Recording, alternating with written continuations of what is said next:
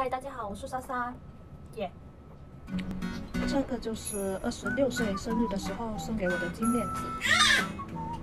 当时本来想去周大福那些地方看的，但是我又怀着孕，那时候肚子很大了，还有几天就要生 BB 了，就没有说走出旺角那些地方看，我就在家楼下这边买的，两千五百五十，还有心意卡。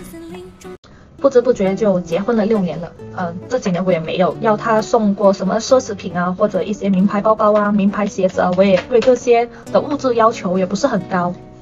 在结婚的头几年呢，他会送我一些手机啊、电脑啊，都是比较实用的东西。但是我发现这些东西都不保值，而且呢，坏了就会呃扔掉啊，嗯，就没有一个意义在。说等以后把它拿出来回忆一下，也没有东西拿出来。后面上一年呢，我就说，要不你送我一些首饰吧，可以放在这里，然后每隔几年拿出来看一下，也觉得挺开心的。就是每一年买一件。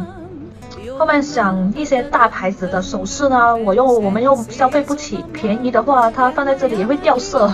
后面想吧，要不就买一条金链，金链子，而且还可以保值，还可以给女儿啊或者儿子以后一些嫁妆啊或者结婚的时候用。昨天晚上他就说很快到你生日了，又送一条金链子给你吧。我说便宜的不要，我只要贵的。然后他吓了一跳，他说要多贵啊？我说三千以上吧，起码比往年多了几百块。